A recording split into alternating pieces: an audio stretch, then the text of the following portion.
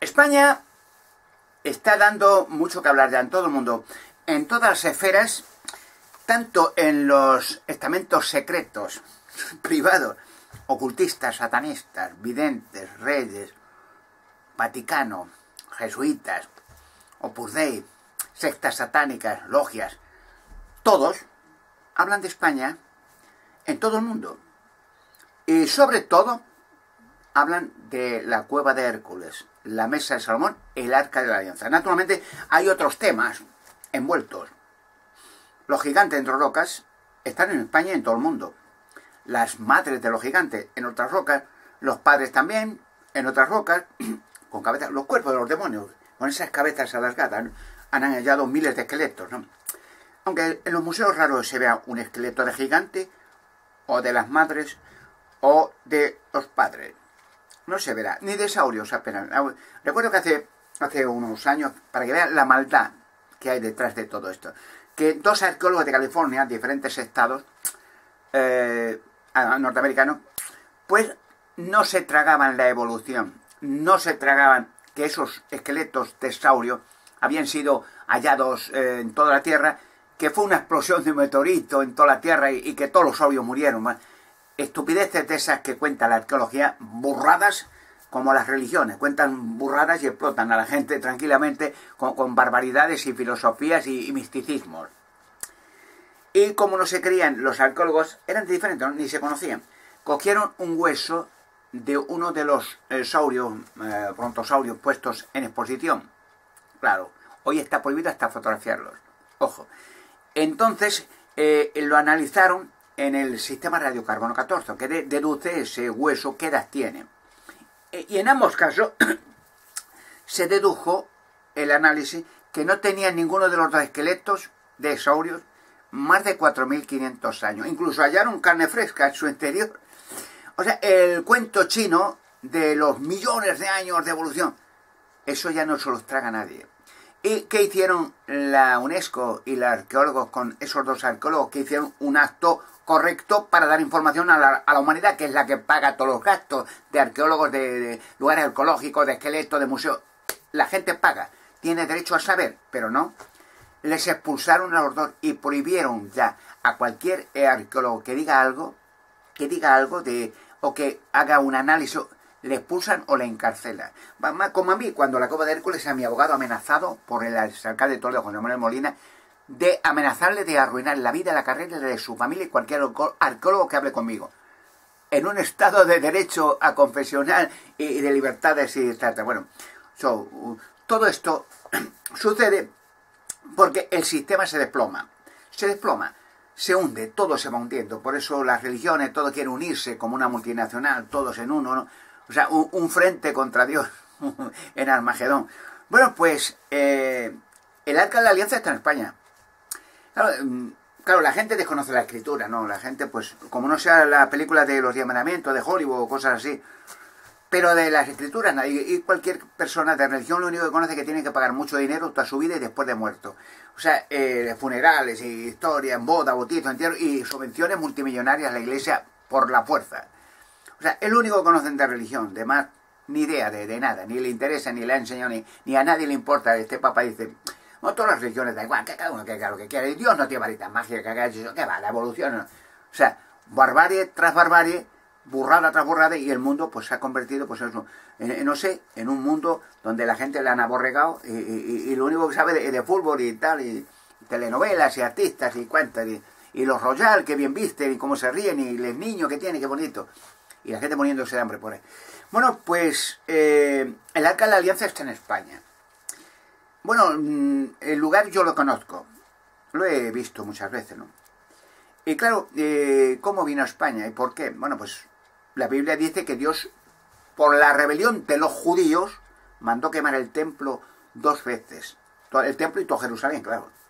En el año 700, no, 615 me parece, en tiempo de Nabucodonosor, antes de Cristo, 615, mandó a Nabucodonosor, un rey de Babilonia, destrozar, destruir todo, Israel y, esclavizar a todos, a todos los judíos por rebelión y por idolatría hacia Babilonia. Todo. 70 años de, esclavos, de prisioneros. y el templo quemado, pero el arca ya no estaba de la alianza, porque el arca, el arca se hizo el templo para hacer el arca dentro. O sea, no, no el templo para ganar dinero, como hacen las religiones, explotar el museo y dinero y pasta y, hacer centros para, para sacar negocios limpios de impuestos y cobrar a, manos llenas dinero por todos sitios. Lo que hacían los fariseos, ¿no? Eh, Jesucristo a, patas en culiar estacato y a latigazos, pero literalmente lo echaba a patas, a patas, pero se volvía rabioso Jesucristo. Ver a esos judíos, fariseos, escribas, con dinero y avaricia y, muy, bueno, un asco de lo que es sagrado. Bueno, pues en la segunda vez, en el año, general, en el año 65, 70, en el año 70, el general Tito Romano, eh, con fuerzas romanas, sitió Jerusalén y los llevó de nuevo, de nuevo a todos los judíos de esclavos por todo el mundo. Millones. Y destrozado y quemó el templo y quemó todo ahí aquello. Y hoy no se acuerda ningún judío, están esclavizados por toda la tierra, de qué tribu era. O sea, no hay ningún judío que diga yo, Dios ha hecho que se borre de los cerebros, ¿de qué tribu? Pues había doce tribus. Entonces cada tribu tenía sus cientos o cientos de mil o millones de, judíos. Pero hoy nadie puede definir, no, no hay ni una prueba. Dios ha hecho que se borre, porque el pueblo de Israel ya no es más, nunca más, nunca lo fue, a partir de Jesucristo, el, pueblo de Dios. Hoy son gente de todas las naciones, hombres, mujeres, de, da igual qué raza gente de todas las naciones, no de todas las religiones, quiero decir, es como dice este Papa, todas las religiones da igual, no, no. El, nombre de Dios ha de ser, em, dice la Sagrada Escritura, glorificado, santificado. Dios tiene un nombre, no Dios tiene cualquier nombre que le ponga, no, se llama Jehová. Además, en el arca de la alianza, en la cueva del la, la mesa de Somos se verá el nombre de Dios en varios idiomas. O sea, ya lo veréis. Y entonces, eh, el arca de alianzas fue traída a España por una nave voladora. Salomón viajaba por todo el mundo con naves voladoras, era súper sabio. Pero no era, eh, la gente no entiende, súper sabio porque era muy listo, había nacido muy listo, había estudiado mucho, no, no. Dios le dio súper sabiduría por haber hecho el templo para llevar el arca. Entonces, eh, debido a que ya la idolatría de los judíos fue, fue aberrante, pues ya Dios sabía que los iba a destruir a todos si fuera. Ya lo hubiera hecho en el desierto, nada más salir de Egipto. Y por intimidación de Moisés le dijo, no, deja, no lo destruya a todos porque, porque el pueblo, todo el mundo va a decir, mira, los has sacado de Egipto para, para luego quemarlos y destruirlos en el desierto a todos. Pero sabía Dios que al final claudicarían. Y el hecho de que el arca mm, es el símbolo de Dios, o sea, el proyector de Dios para hablar con la humanidad, porque el arca está hecha para siempre. O sea, cuando Dios hable con la humanidad, siempre dice la Biblia que cuando esto pase, todo este sistema satánico se destruya, se abrirá nuevos rollos, nuevas leyes, para un mundo perfecto. Hoy es un mundo imperfecto. Hoy el mundo pues está bueno por demonios. Ya los demonios están siendo abatidos, encerrados, con Lucifer a la cabeza. Pero claro, en el mundo perfecto, física y mentalmente perfecto, decir, como ángeles.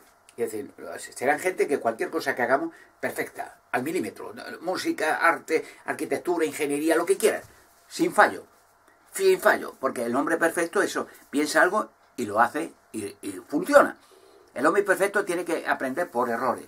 Es como, digamos, un coche cuando se fabricaron los coches a casa Ford y tal, pues poco a poco, imagina el primer coche que se hizo con era de motor de eso, de dos tiempos, que pegando explosiones y, con, gas y, o con, agua y vapor y, una rueda de, de un horror. Pero poco a poco la perfección ha hecho que un coche hoy se, se trata de hacer coches que funcionen sin conductor siquiera. O sea, con, un ordenador eh, perfecto que, sea un sensor que pueda detenerse donde tenga que detenerse, parar, acelerar. El hombre perfecto no necesitará más aprender eh, de, sus errores. Hay un dicho que dice que el hombre, eh, el hombre inteligente dice aprende de sus propios errores, pero el hombre sabio aprende de los errores ajenos. Bueno, pues el arca está en España y se va a sacar como última instancia, después de que estos descubrimientos que he mencionado muchas veces, la, la cueva de Hércules, la mesa de Salomón, el robot de la cueva, la nave de Salomón con toneladas de oro, de los viajes que Salomón, lo dice la Biblia, hacía a Tarsis, a España, cada tres años un viaje. Se llevaba oro de España, tonelada. Hizo rico a, todo Israel del oro de España. Como hace ahora con el dinero de España, rico a todo el Vaticano. Pues entonces, eh, siempre se ha llamado España el granero de Roma, ¿no? Eh, el arca va a salir. Había dos arcas, porque una es, había dos cosas, siempre como dos tablas de la ley diferentes. Dice la Biblia que Moisés hizo abajo del monte Sinai lo que había visto arriba en la cima, cuando habló con Dios en la zarza, eso. Y hacía un arca según el modelo que había visto arriba. Dos arcas. Bueno, el arca del templo es la que está en España y se va a sacar. Pero claro, los judíos y satanistas, Vaticano, logia, tienen miedo al arca. No la menciona. Como tienen miedo a, la cueva de donde está en la mesa de Salomón, que se verán los crímenes de la humanidad, de esta gentuza, los, los crímenes, a niños y todo. Horroroso lo que le viene para él. Tienen miedo. Por eso eh, es lógico que los medios de comunicación no hagan eco de mis descubrimientos, aunque quisieran muchos productores, pero les, avisan, como a los toreros, dicen, si este tú has menciones de Alberto, le dicen lo que el sacar de Toledo, que José Manuel Molina, que luego le echaron por ladrón de la alcaldía, y ahora le mandaron a Sudáfrica, que olvidado por ahí, eh, le dijo a mi abogado que le arruinaba la vida y la carrera y, la de su familia si trabajaba conmigo, o hablaba conmigo tan siquiera. En una, en una democracia, ni, ni en tiempo de franquismo hubieran hecho eso. Bueno, pues el arca va a salir. Y el arca va a hacer una purga en condiciones a toda la gentuza que, merece, esto, que se, que se le elimine para bien de, los animales y de las personas. Porque hay mucha gentuza. ¿Cuántos niños cree que desaparecen anualmente? Millones en toda la tierra. ¿Dónde cree que van a parar?